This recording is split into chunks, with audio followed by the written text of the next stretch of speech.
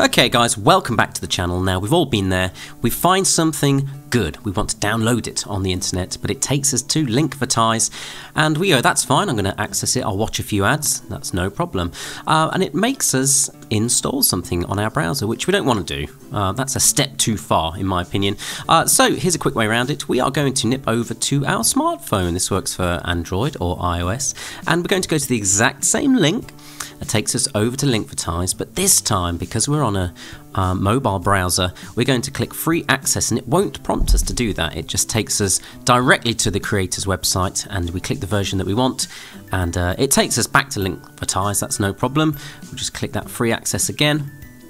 And this is the part where you've got a couple of options. So here you can download the files and share them back to yourself somehow. I like to actually go up to the link at the top and um, share the link with those three little dots there.